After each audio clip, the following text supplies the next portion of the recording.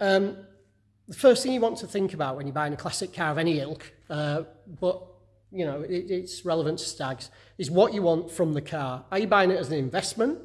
Are you buying it to show it in a concours show or on the show field? Are you buying it just to enjoy? If you're buying it just to enjoy, um, a lot of the things don't really matter. Um, I've modified my car. You can see the old green Capri in the background. I have modified that to within an inch of its life. People say to me, oh, it'd been worth a lot more if you'd left it standard. I don't care what it's worth. It's my car. I enjoy it. I have customers who have very, very original stags. Um, they would be more valuable if they decided to sell. I also have customers who want originality like the one I'm going to show you in a moment because it, it, the car is an heirloom. Um, it's gone down through the family and he wants it perfect because that's how it was to a member of his family. Um, and I, you know, I also have customers who just want to use the cars. They don't mind if it had the wrong engine in. They don't mind if it's not absolutely perfect and original. They enjoy driving it day in, day out. But you kind of need to decide what you want to do. Some things will matter more than others. Um, some things can be put back to standard, some can't. Um, but at the end of the day, it's your car and you need to decide what you want from it. Okay? And click. So first things first, uh, as the values obviously differ slightly, I'm going to show you the differences between a Mark 1 and a Mark 2 stag. Back in the day, Mark 1 stags, when the Mark 2 came out, people wanted to convert their Mark 1s into Mark 2s. There are only very subtle differences to see. Um, so some Mark 1s have been in, turned into Mark 2s back in the day. Now, Mark 1s are a little bit more valuable than Mark 2s, so people turn Mark 2s back into Mark 1s. Um, I'll show you a few of the obvious things that I can show you in my workshop. Uh, the first one is, this is a Mark II in front of you. So you can see there the wheels that are similar to a, well, they're a five-spoke aluminium wheel, ATS Classic style, uh, not made by ATS, I hasten to add. Um, these are Mark II wheels. Now, obviously, it doesn't, wheels are irrelevant. Some will have Y wheels, some will have uh, Minilites, things like that. But these are the correct wheel for a Mark II Stag. This valve here comes out in the middle of this spoke, okay? That means it's a genuine Triumph wheel. If the valve appears here, in the middle of this opening, it's a copy, it's uh, an aftermarket wheel. Um, as I said earlier, you really need to decide what you want to do with your stag. If you're totally bothered about value and um, concours and things like that, and you're going to compete and show it, then obviously these are the things you need to know. So the Mark 1 stag should, should, if it's original and historic, have a steel wheel, okay? These are a 5J by 14 inch wheel, okay? So 14 inch diameter wheel, 5 inches wide. They should be fitted with an embellisher ring. Excuse that being totally filthy. I'm waiting for the tyres to arrive for those for the yellow stag on the right. The embellisher rings there look like a five stud wheel. They resemble a Rostyle wheel. Those are original Mark 1 stag embellishers. Okay. Now then, I'm temporarily standing the stag Mark 1 on the five spokes from Mark 2. They're all knocked about. It's just because they hold air. Um, so if you have the correct wheel nuts, these have a steel wheel nut on. You can see those steel wheel nuts on there. Those are the original Mark 1 wheel nuts. The Mark 2 wheel nuts are more like this. They should be aluminium. Uh, some are steel, some are aluminium. These are aftermarket, these are stainless steel. I like these. These are lovely. They don't corrode or anything. You don't get the dissimilar metal corrosion, but that's that's by the by. Okay, next. So the next thing on a Mark 1 and Mark 2 stag difference is, if you can see just down here, the grill badge on a Mark II is black backgrounded with a silver stag. The Mark 1 grill badge has a grey or silvery background with a silver stag, okay? These are Mark 1, okay? The yellow car is a Mark 1. The rear wing badges, this is the offside in the UK, so this is the driver's side, or it's a right-hand drive car. As you can see again, silver grey background with a silver stag. The stag should be pointing forward. That is the correct one for that side of the car. Now the white stag, it should have black badges on here. However, this car came with these. These are an American uh, side marker light, and these are very, very desirable and very valuable, okay? These are original ones. As you can see, these are Lucas. You can get reproductions. They're still quite expensive. I like these. They came with the car. They're a little bit different and they're quite nice. The badges are still available. Uh, you can usually find second-hand ones and you can put the inserts in, which is what I've done with the yellow stag. Okay, next notable thing. Now then, please ignore the dash trim. Um, it's had a, a veneer put on it that's the wrong colour. The dashboards themselves will be the same colour in a Mark 1 and a Mark 2 Stag. The gauges, however, are different. These are Mark 2.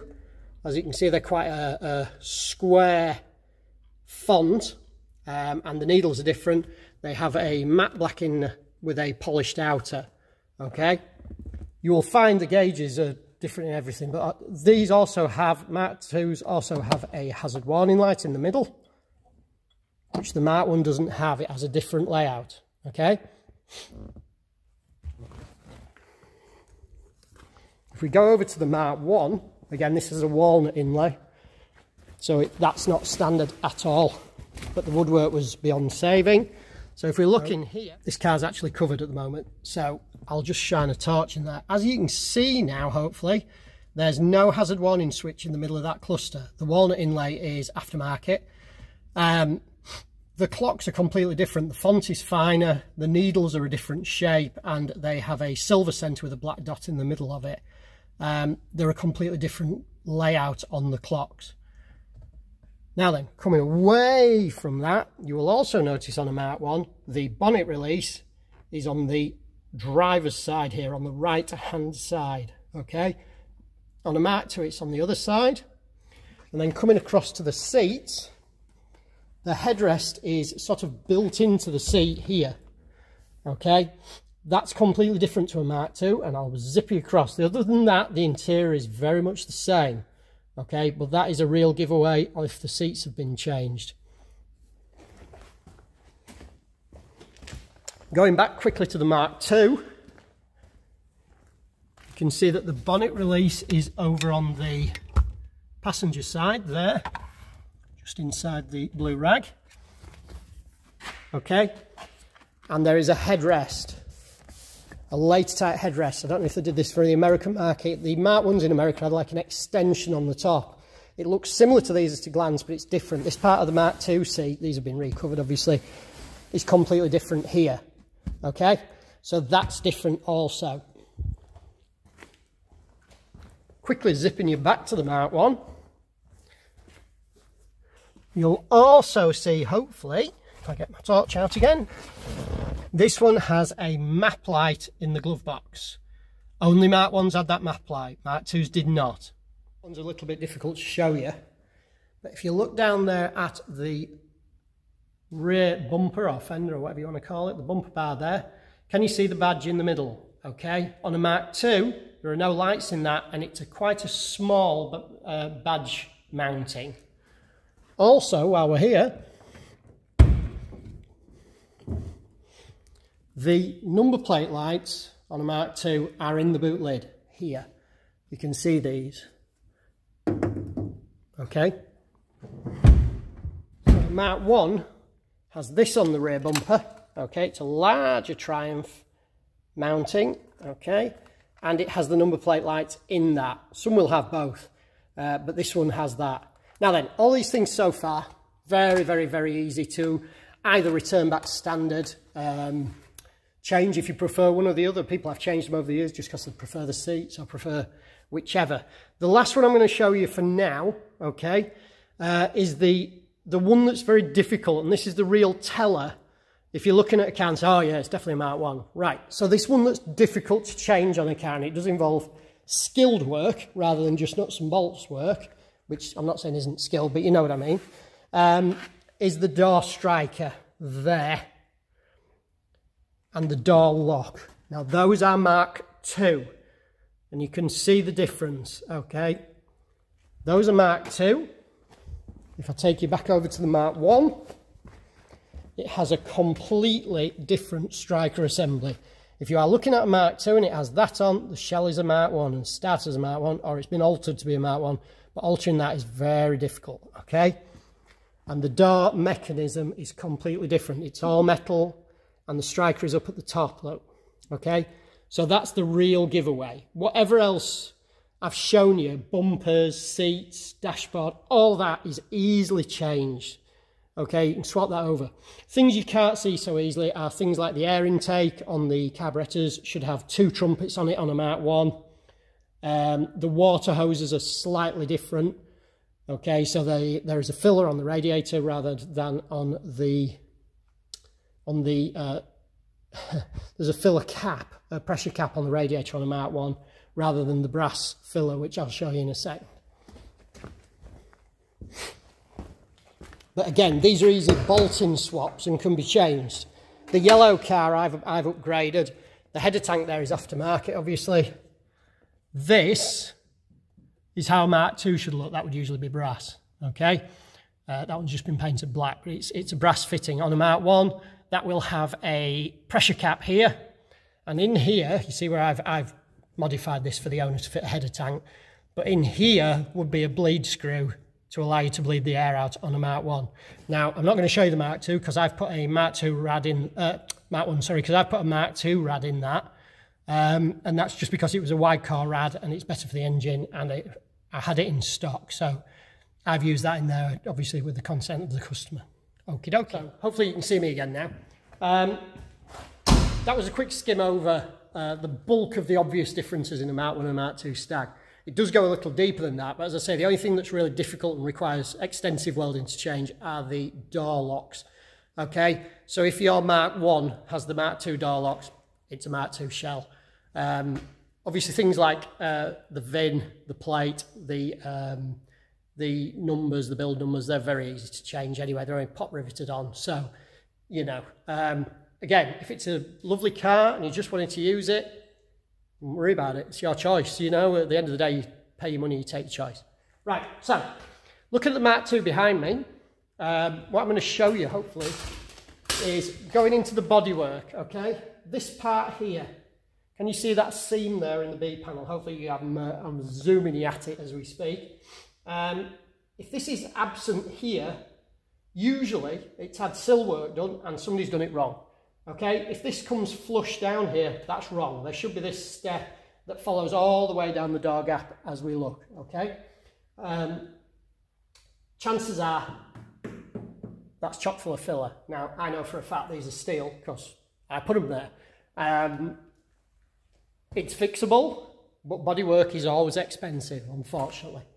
Um, front wings, available. Stags, everything is just about available, okay? Used or second-hand. Obviously, I'm not recommending you use second-hand panels at all, but it is all there. Um, but the actual having them fitted professionally to a good standard is not cheap. You can have a go at doing it yourself, um, but it needs to be done right. Things you also need to check, looking at this side of the car, door gaps, okay? If someone has cut the sills or the inner sills out and not supported the car properly, um, it will fold up like a, a tea bag basically. The car is not a strong shell at the best of times. If you cut all the rust out in one go, it will just fold up like a piece of origami. Um, so you need to be looking at door gaps there. You need to be looking at wing gaps, how the bonnet fits into this aperture here. Okay, it wants to be square. These seams here need to be filled. Okay, so these seams here, these should be filled like that. I weld these up solid and then grind that groove back in, okay, to try and stop this moving. They do have a, a tendency to crack here slightly, even when they're welded up solid, because obviously you have to put a smear filler and stuff on there, and it will often move, okay? But that's how that should be. Um, when I say the bonnet should be square, it should be nice parallel gaps and nice even gaps front to rear. The front gap is always a little bit bigger to allow the bonnet to hinge open, okay? Um, if you're ever looking for stag parts and somebody says, oh, I've got a rust-free bonnet, I'm going to tell you now, I've never seen a rotten bonnet on a stag, ever. Um, wings, uh, I think they're, well, last time I bought one, they're about £800 each, plus fitting. Um, if you're having sills done, you can get a lower section and weld it in here. Um, doors, difficult to get hold of, very difficult, very difficult door to reskin. These have been done by a, quotes, professional before I saw the car, and they aren't correct, unfortunately. Other gaps to check. Uh, this gap here, this gap here, okay? Those need to be nice and consistent. They shouldn't be so big you can get in the car without opening the door. Uh, mirrors. Uh, mirrors on a stag are a complete disaster. Um, wherever you sit, you can never see in the mirror. So don't think somebody's fitted them wrong. They were like that from the factory. Um, now then, going a little more into the bodywork, front and rear wheel arches. Now, we all know wheel arches rot away on cars, especially on classic cars from the 70s and 80s, well, 60s, 70s, 80s. Um, Triumphs are no worse than anything else. People say, ooh, you know, British cars, ooh. well, a load of rubbish. They all rotted. There were, there were terrible moisture traps and things like that in them. If you can find me a Mark 2 Escort that hasn't been re-welded in every inch, then, you know, you're doing really well. Either way, they're all going to be rotten. So this gap here, okay, there should be a nice even panel inside. These have had inner arches in, okay, and it should be a nice level at the back there. Be very careful if you're checking it that you don't cut yourself. You don't want big wadges of filler in there. You don't want blooming big holes either. Um, the sills should be capped off neatly, all right? These have been done. As you can see, I've done them. They've been ground back and you can't tell, all right? It's all been neatly done. It's had repair work done, but it's all been neat and accurately done. This um, arch flange should be about three quarters of an inch like that. That is correct. Okay, all the way around. The same at the front. The front has an inner arch. It's a very complicated inner wing at the front here. This has had inner arches, inner outer arches, everything. These should be spot welded around here. There shouldn't be a knobbly weld around here. These should have been spot welded. Now I drill these or stamp them, usually drill them actually, and plug weld them in. But that should be a nice gap. If there's any big lumps, bumps, sealer, things like that, it's usually covering something. Yes, it can all be fixed. Yes, it has a price. You can also see on this car, this one has stainless steel sill covers. I'm not a fan of these, but Mark II's had them fitted. Okay, Mark 1s did not, um, but people quite often fit them as a vanity thing. Um, they're also quite often fitted to cover up a rusty or badly fitted sill. Again, be aware of that. Try and draw you a very quick picture of how the floor should meet the inner sill and vice versa, okay? So if you were looking down the length of the sill in cross section, and that's the outer sill there like that, the bottom seam comes down and wraps under like this, okay? That's that piece I was pointing to that said the step should be in it, and that's the side of the car, okay? Um, the inner sill comes up here. It's really, really thick material. It's heavy artillery. And it comes like that and then it goes off. It actually, does a little radius there. You won't see any of that if it's done correctly. And there is a little channel down it that the wiring runs down. And then it goes off and there are seams up here. We're not going to worry about. The floor comes across to it like this, okay? And it is spot welded here upwards. Anything else is wrong, okay? That's the correct way of doing it. You have to weld it up upside down. It isn't easy, but it is right when it's pretty like that. So you spot weld them, plug weld them, and then grind them back. Very thin smear of sealer if it needs it, and then whatever underbody treatment you are going to put on there. As an example of that, as you can see here, there's a bit of God only knows what been welded in there. It's a disaster. They've tried to plug weld it and spot weld it. I'll give them the dues. Uh, other than that, it's a disaster. You can see a big lip here.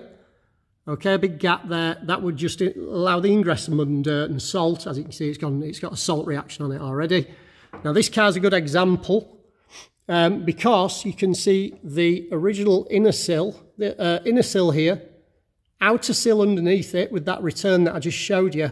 And then someone somebody's welded another sill clean over the top of all that, which means there's a load of rot behind there that needs to come out. You can also see the floor, the original floor. Okay, you can see the seam there down the edge of it where it goes up flat. I hope you can see that. That's quite important. Now, if the car is strong, again, depends what you're paying, depends what you want it for.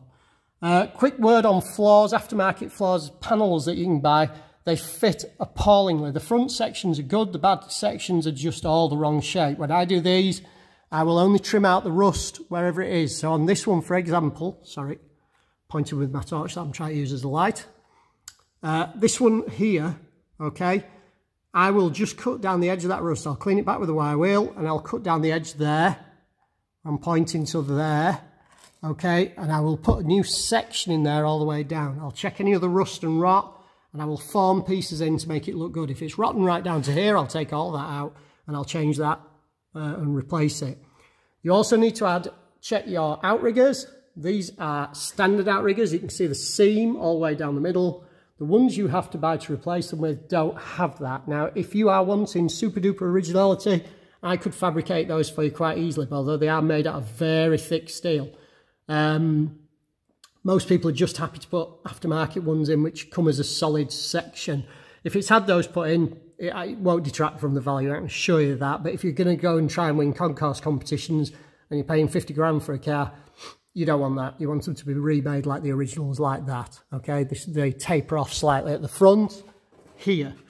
Okay, the aftermarket front cross uh, outriggers are much, much better.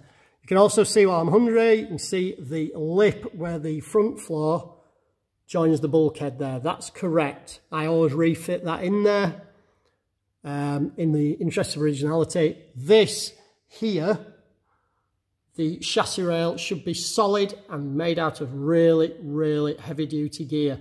This is important in a stag, there's a lot of strength there, as are the inner sills and the sills. So that's the bulk of the bodywork really on Mark 1 and 2 stags, they're pretty much the same.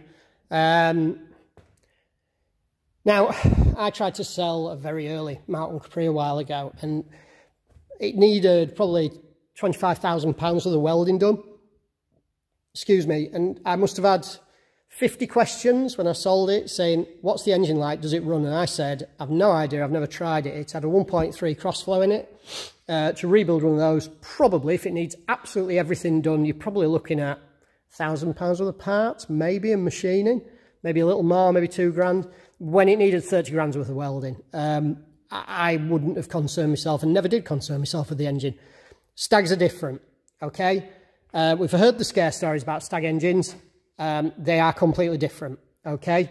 The engine is exceptionally expensive to rebuild. Um, so if it's been done and there's an invoice to show it's been done and it's been done properly, that is a very, very, very good thing.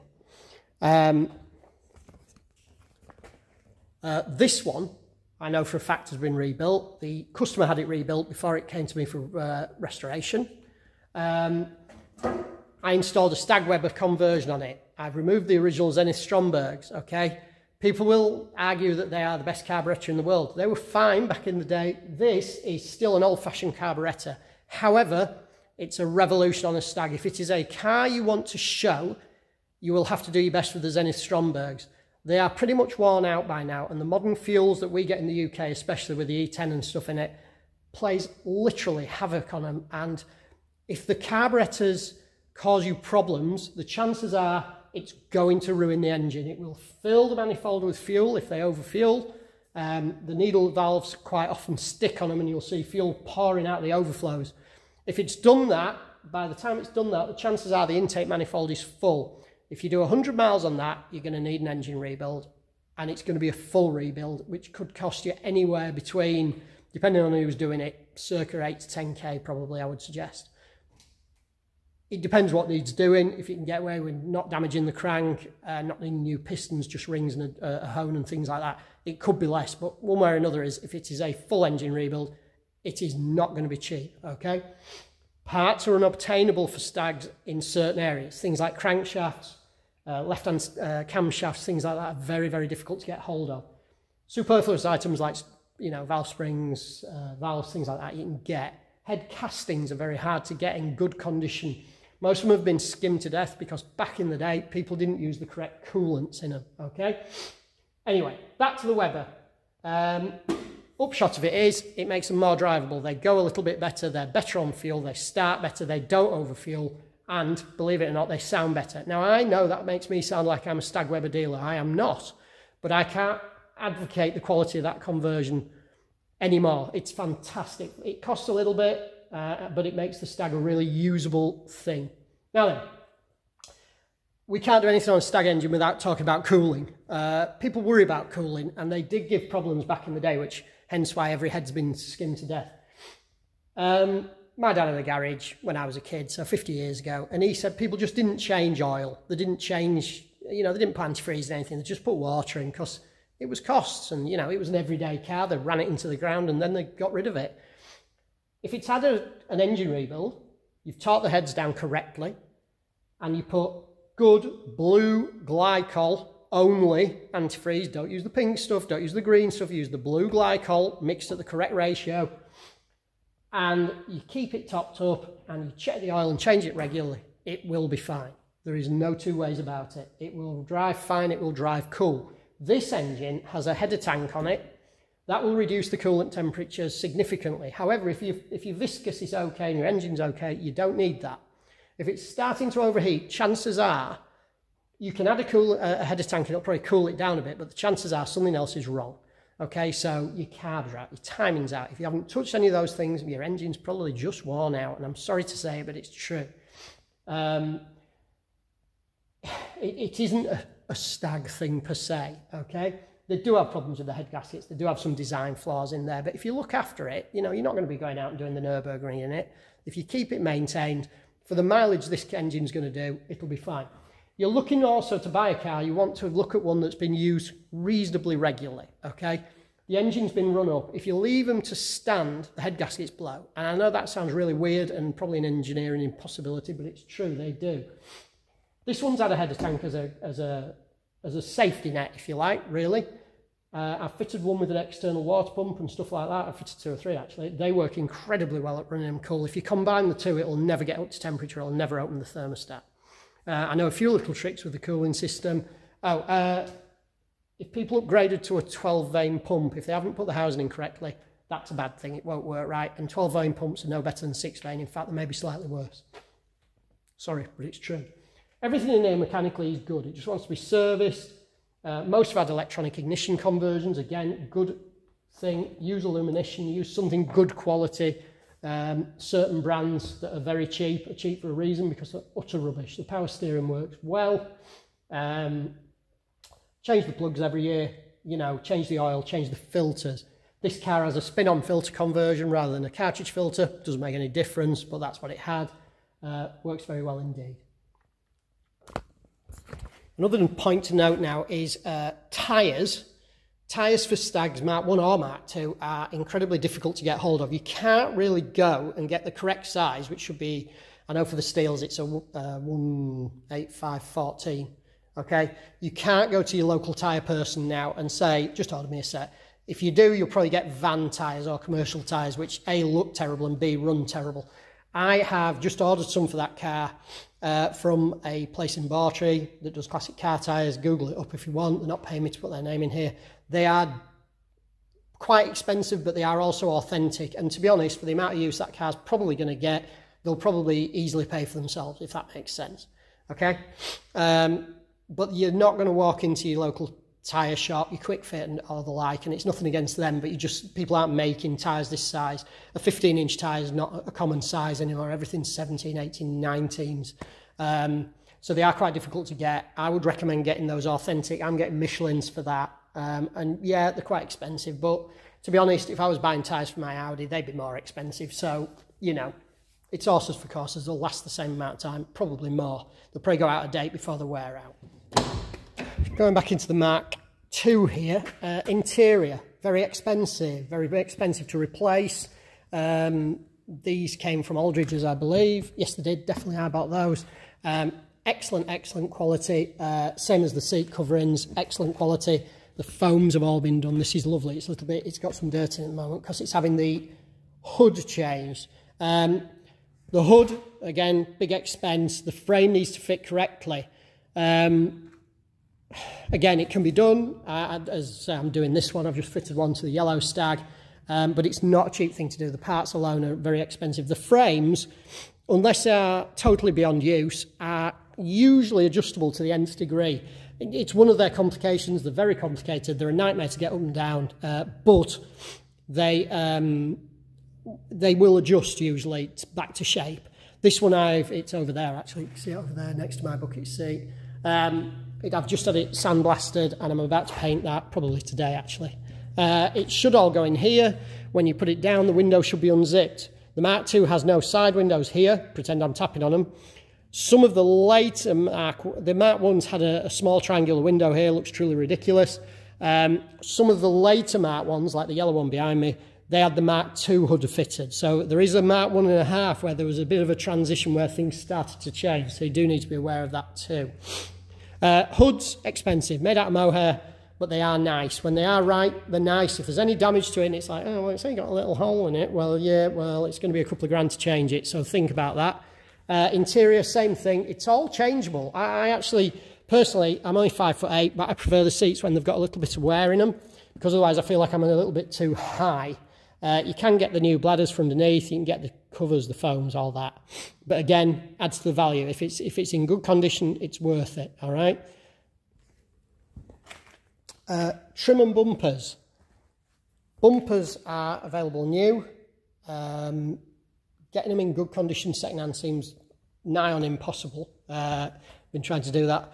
The rear bumper, uh, the rear bumper there is available in sections. So for example, this one, I'm going to put a new uh, outer section on the other side. I think they're about £200 each. They were last time I bought one, don't know what they'll be now. Other trim is all available. These are harder to get. These here you can only get second hand and they are nigh on impossible to get. If you can get some of those in good condition for sensible money, buy them. Um, petrol filler caps, uh, hard to get. This should lock and it should be the matching key. Obviously, you can buy lock sets, so it's not the end of the world if it isn't. Um, these trims here, they're readily available second hand usually. They've usually got a few little pot marks because they are aluminium, but they're okay. These are all available new. These are all available new under here. Uh, Bumpers are now available in stainless steel. If I address you over to the Mark 1, that is a stainless steel bumper bar I fitted to this. Okay, now I've fitted stainless steel bumpers to all sorts of classic Triumphs and I wasn't very impressed with some of the others. These ones, I have to say, are very, very nice. Uh, made by the same people, but the bolt fittings, the threads and all that seemed a lot better. They come with the overriders, with the rubbers, with the trims and I'm quite impressed with that. Um, I've just added some glue to the badge, hence why there's some tape on there, but yeah, I'm pleased with that. I'm just waiting for some uh, rear uh, bumper brackets to come, and that's the rest of the bumper there. They come from Thailand, they take a few weeks, but they are significantly cheaper than the steel ones. The steel ones, I think to buy new now are, are well over a thousand pounds each, plus bars, plus overriders, plus rubbers for the overriders, etc., etc. So, you know, you're looking at a lot of money just in parts and not a difficult thing to change. Um, but it, it's reasonably time consuming, but it's not difficult. Uh, the only reason being there's some bolts hidden in the boot that you have to strip half the boot out. Okie doke. Going back to the Mark II again, transmissions. This one is a manual overdrive. I don't think I've ever seen a manual stag without an overdrive, although I do believe some have been fitted.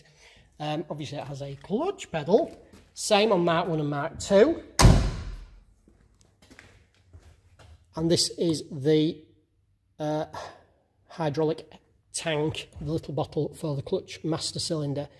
This cutout will be there even if it's an automatic. So the yellow one has this. Um, all the shells had that. So it's not, if it's there, it doesn't mean it's been converted from one to the other. Um, the Mark 1 and Mark 2 stags had different overdrives. Um, now, don't quote me on this, I could be wrong, but I think the Mark 1 had the A type and the Mark 2 had the J type, but I could be way off. I can check that. Um, it'll be in the, the um, Haynes manual, no doubt, but I can have a look at that. Um, I'll also draw your attention to seat belts. If you're looking at seat belts, these have been upgraded. These are from any parts supply, basically. I get these from my local um, car accessory shop. Um, and they fit here. They don't actually fit snugly like the originals into there. They fit on a stalk. However, they are significantly safer than attempting to use the originals. Um, they're usually frayed. The clasps don't always work, and those are better still.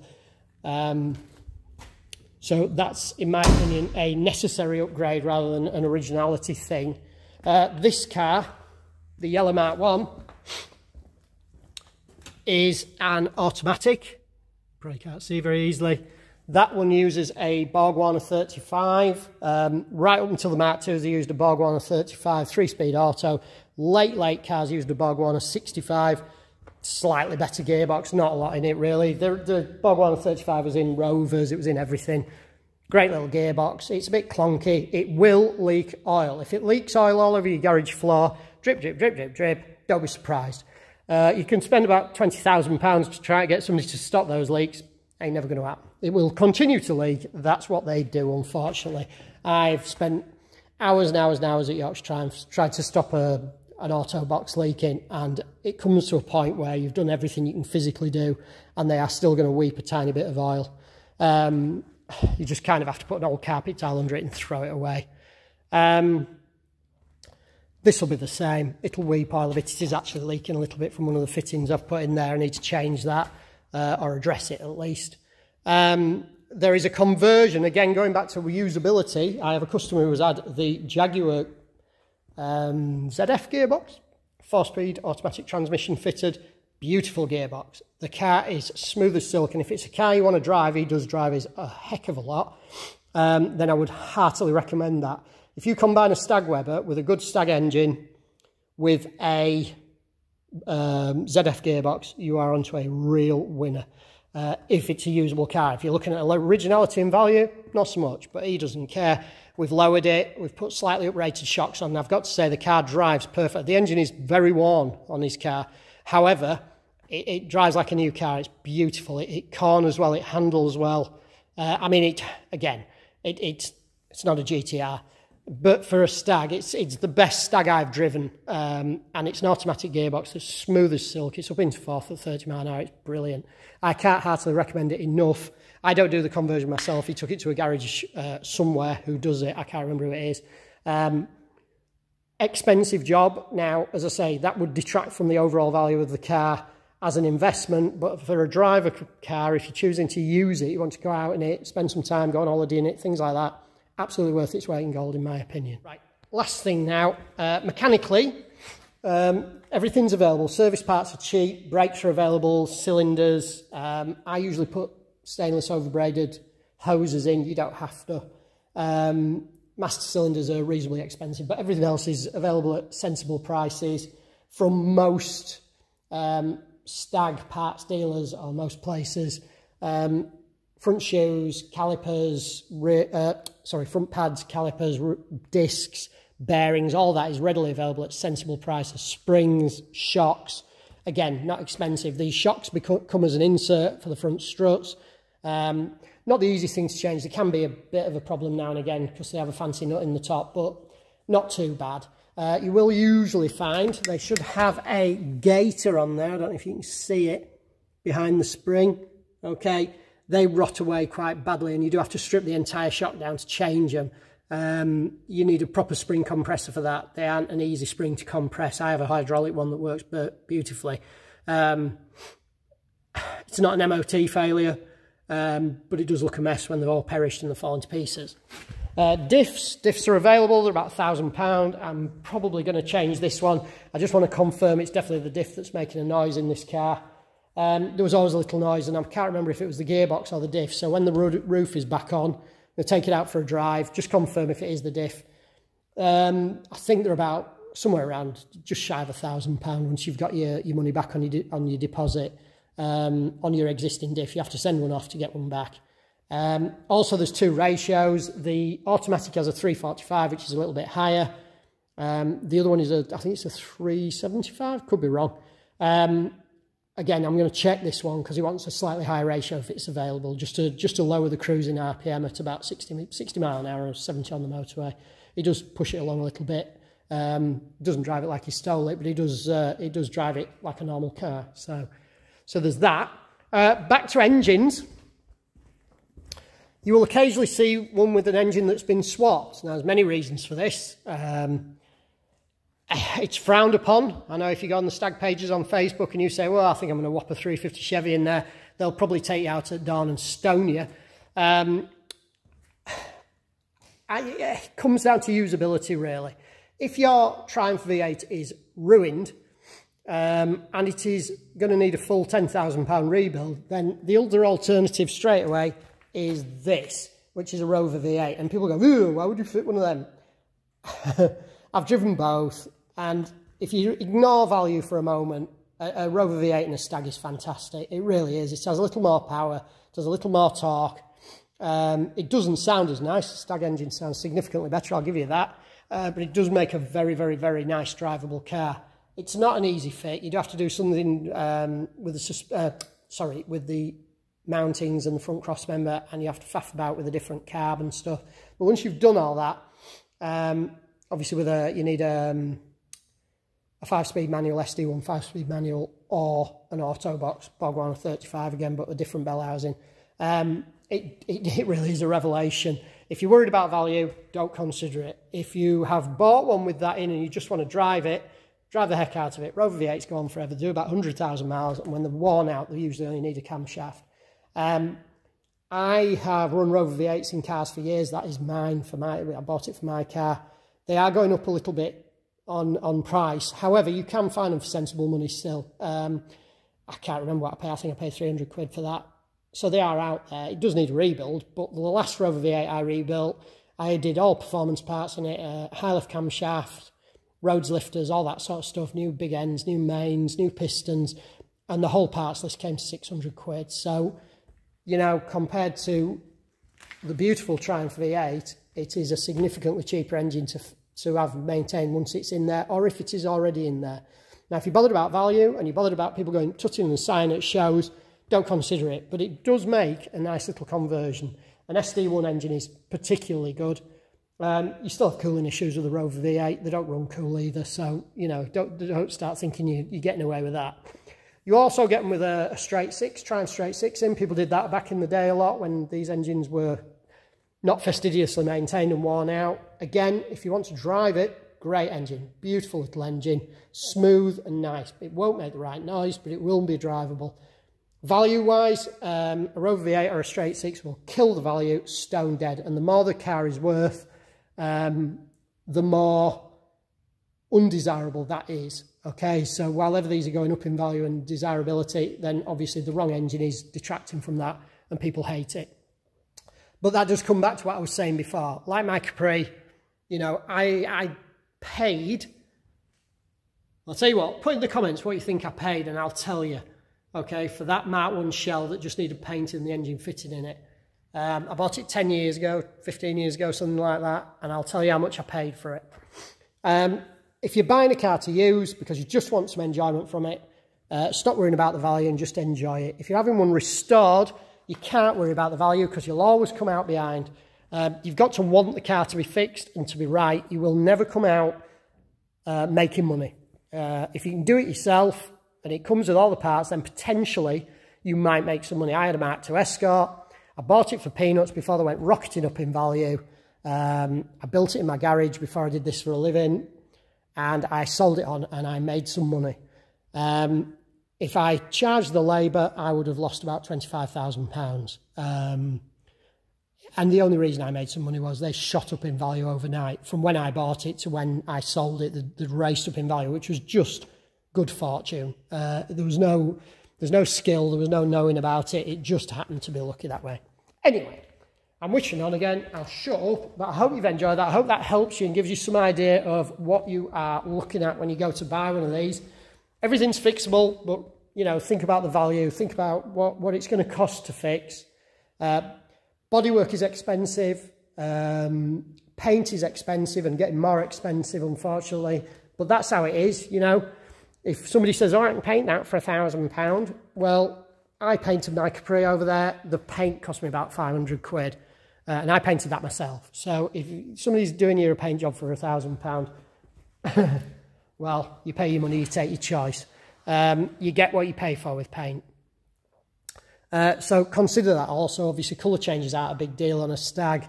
Um, you'll see all sorts of colours. I, I particularly favour white on them. Um, but I also particularly favour the purple, uh, which name I can't remember all of a sudden, weirdly.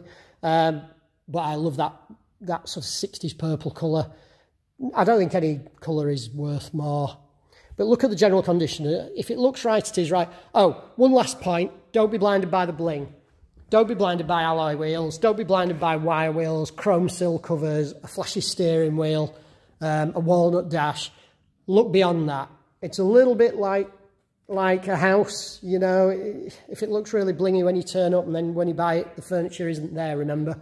same sort of thing. Look beyond that. Look at the, the, the quality and solidity of the bodywork and consider what it, if it needs anything. And don't, I mean, if the seller's saying, well, it cost you 50 quid to have that fixed, well, it cost you 100 quid to fix that, you know, think about it. Always weigh up what you're going to do. There's always another one will come along. Yes, I've missed a bargain and wished I'd bought it. We all do. But there will be another one along. These aren't, they aren't the last three in the world. There will always be another car. If you want a restoration project like the green one over there, remember it's going to cost you money to fix it and it's going to be quite a lot. But then when you're finished, at least like this white car that I restored, you know it's a good, solid, correctly built car. If you're having it restored, weigh up your restorer, have a look at their work, come to their workshop, look at a car like this GT6 I've got behind me, look at the welding on it, look at the finish, look at the panel gaps, you know, have a look at what they have done, not a finished sprayed up car that could be chock full of filler, okay? Um, so yeah, hope that helps. Um, keep driving them, that's what they're meant for, and it does them a lot of good. Thanks for listening, cheers, bye-bye. Oh, any questions, please feel free to ask.